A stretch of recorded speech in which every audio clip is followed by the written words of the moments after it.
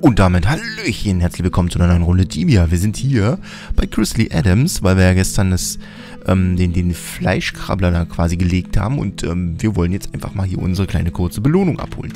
Und dazu sagen wir Tachchen. Tachchen Chris Lee. Ähm, Mission? Nee.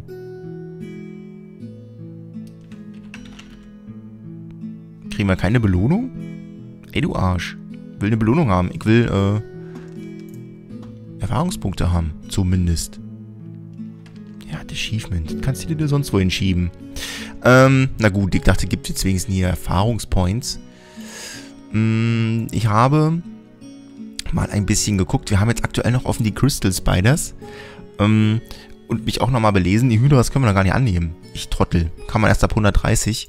Und wir haben von 80 bis 130, ähm, ja, auch nicht gerade wenig zu tun. Wir können zum Beispiel High-Class-Lizards handeln. Die werden wahrscheinlich auch, ähm, die werden wir wahrscheinlich auch machen, sagen wir mal so.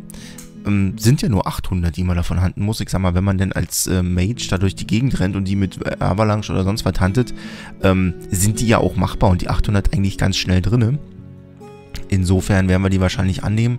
Aber da habe ich mir überlegt, das machen wir heute mal nicht. Das heißt, da grübeligen später mal drüber, ein anderen Mal drüber. Ähm, was wir heute machen, und zwar war das gewünscht in den ähm, Kommentaren oder zumindest mal nachgefragt worden.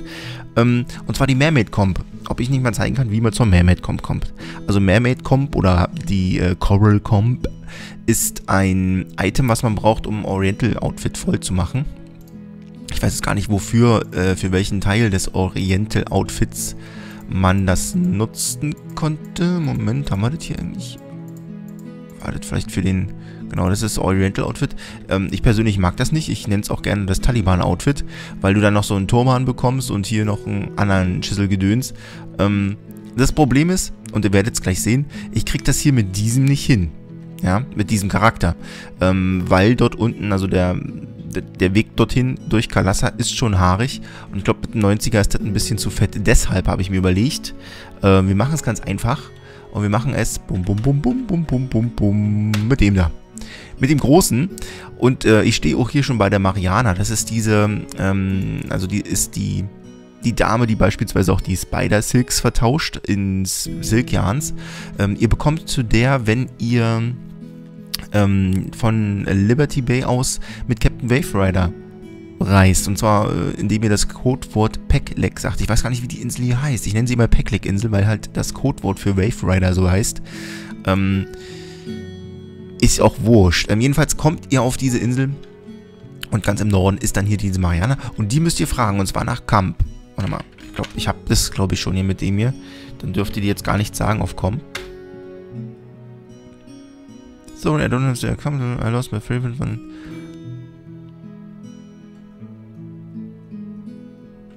Hä?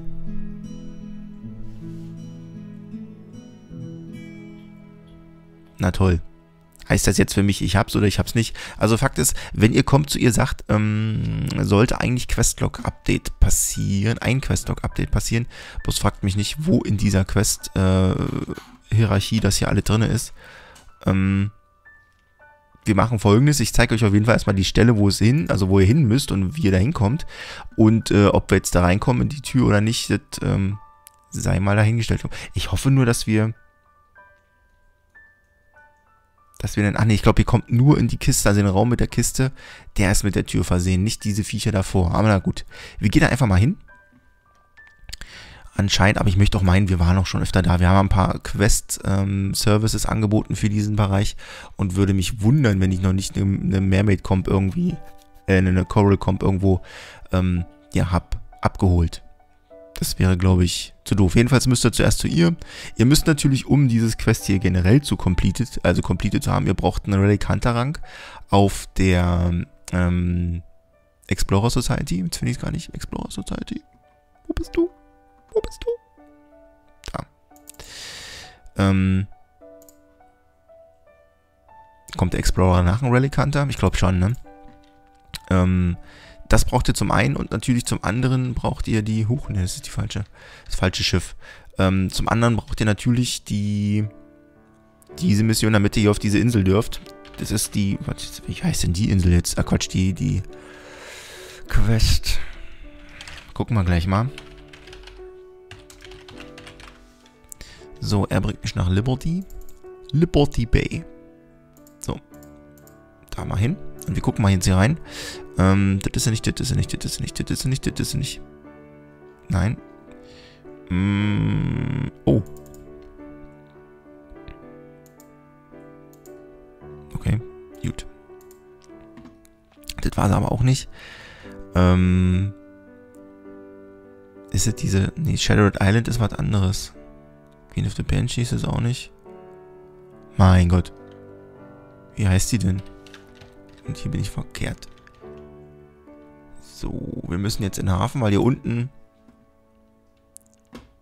ist auch schon unser Schiff.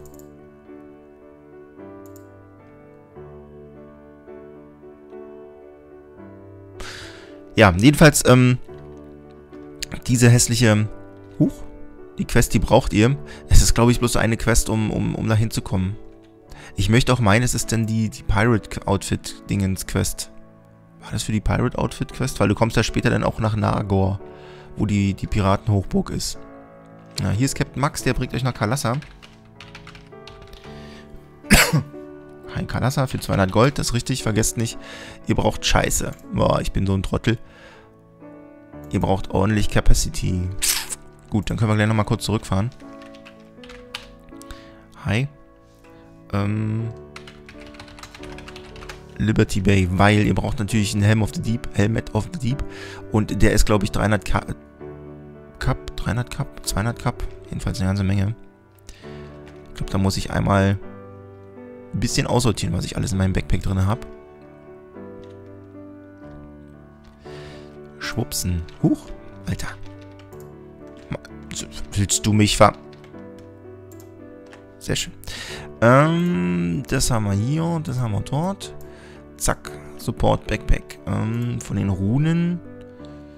Komm hier, die brauchen wir auf jeden Fall nicht. Haben wir mal ein bisschen frei. Die brauchen wir auch nicht. Die brauchen wir eigentlich auch nicht. Weil die da unten sowieso nutzlos sind. Die werden wir brauchen. Das ist die Stone Shower. Die brauchen wir auch nicht. Sind wir schon bei 240. Und von denen...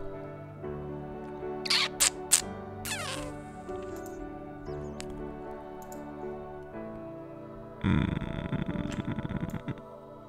Flupp.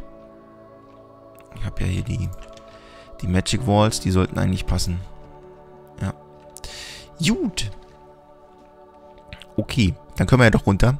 Helmet of the Deep. Auf geht's nach Kalassa. Ich weiß auch gar nicht, ob ich das jetzt hier so... Also ich...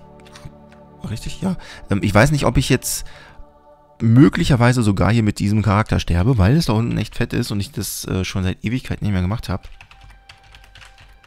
Ich weiß bloß, dass diese Aufgabe hinten auf jeden Fall, also bis, bis zum Raum werden wir es wohl schaffen, aber da oben der Raum, vielleicht passiert ja irgendein Scheiß. Da sind ja lauter massive Water Elementals.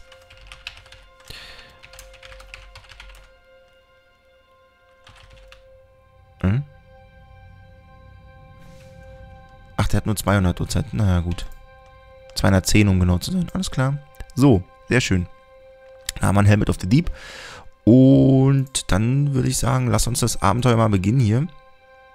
Und gucken, ob ich denn sterbe oder nicht. Cancel Hotkeys. Da. Select Object. Den brauche ich noch. Okidoki. Blub. Jo, jo. Also das sind natürlich hier die, die, die äh, Larifari Hushi-Pushi Sachen. Ach so. Ach, genau. Ist natürlich klar. Ich hätte meine Dings mitnehmen sollen. Die kann ich irgendwie ausziehen hier oben. Warum ich die ausziehen kann, spart Mana, weil die schießt grundsätzlich, aber macht ja keinen Schaden. Also spare ich mir Mana. Und apropos Mana, die könnten wir mal voll machen. Ja, was ich natürlich vorher noch geändert habe, ich habe hier ähm, als UE natürlich diesen. Ähm, ich weiß gar nicht mehr, ob der als... Ich glaube, der war als Sofortzauber, weil früher, früher, ganz, ganz früher, gab es ja auch für uns so eine Art Poison-Ding, Poison-UE und die war über Damage over Time. Und ähm, ich glaube, das haben sie jetzt geändert. Hoffe ich zumindest. Weil das wäre natürlich sonst sehr ärgerlich. Was hat denn der für eine Cooldown-Zeit? 40 Sekunden am Popo, ey. Naja, gut. Also, wo wir hin müssen. Ach, guck mal, da oben haben wir gleich so eine hübsche... So eine, so eine, so eine, so eine... Da, die da. Die können wir gleich mal aufmachen, weil da gibt es eventuell die ähm, Kugeln. Nothing is inside. Na, verdammt. Da gibt es diese großen Shimmering Pearls. Schmaler Amethyst, den nehmen wir natürlich mit. Vielleicht looten wir was Schönes hier unten. Kann ja sein. Zack, dazu machen wir erstmal hier unser Loot-Backpack auf. Was ist da denn alle drin?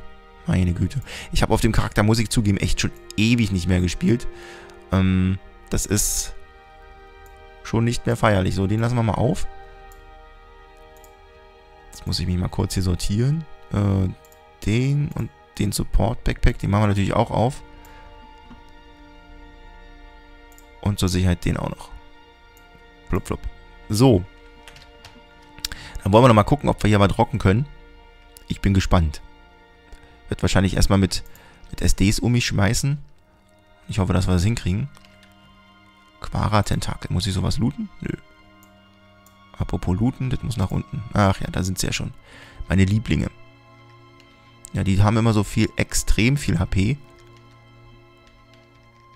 Hm. Könnte ich so machen, könnte ich aber auch luren und dann mit...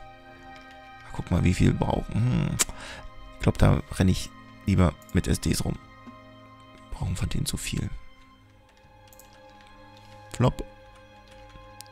Flop. Guck mal, drei SDs, dann sind die down. Na, das geht doch. Ach, die droppen Platins?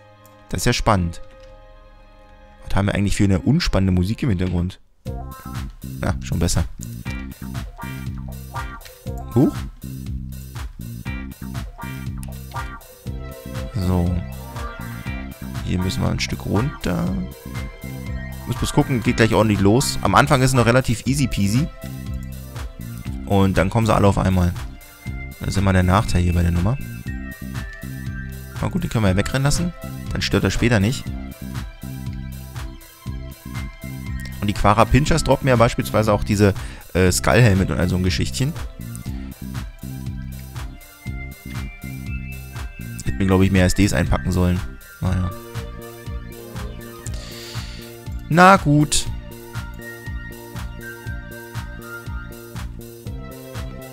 Hm, diese Dinger könnt ihr übrigens bloß einmal am Tag aufmachen.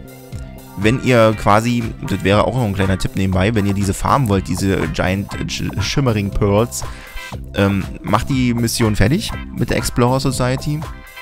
Und da guckt einmal am Tag darunter. Ich glaube, es gibt auch noch verschiedene andere Stellen unter Wasser, wo man diese Dinger machen kann. Aber in Kalassa ist halt hier vorne, wenn du da runter droppst, hast hier vorne gleich so ein Teil, was ich da vorhin auch geöffnet habe. Und da brauchst du bloß einmal rüber und die Viecher, die da sind, die sind eigentlich nicht schwer. Die sind absolut nicht schwer. So, die Massiven machen, glaube ich, ordentlich massiv Damage. Ähm, ich aber auch auf die. Mal gucken hier. 70, 94, tot. Na gut. Vielleicht machen sie doch nicht so viel Damage. Ich weiß noch, wo, wo Sip sich damals einfallen lassen hat, dass er hier, ähm, dass man da in diesen Dingern äh, nicht einfach so looten kann, sondern dass man da mit einer Angel reingehen muss, um da das Loot rauszuholen. Ganz tolle Idee. Ich weiß nicht, wer da auf Drogen war, aber die Idee war super toll. Ah, siehst du, waren zwei. Doch richtig gesehen.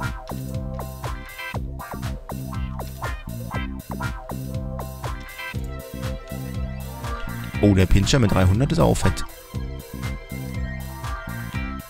Ich traue mir die hier nicht zu luren. Obwohl ich relativ schnell bin unter Wasser.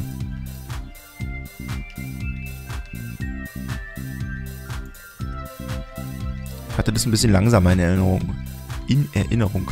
Und ich hoffe ja auch noch, dass diese Boots of Water Walking irgendwann rauskommen, dass man unter Wasser genauso schnell latschen kann wie über Wasser.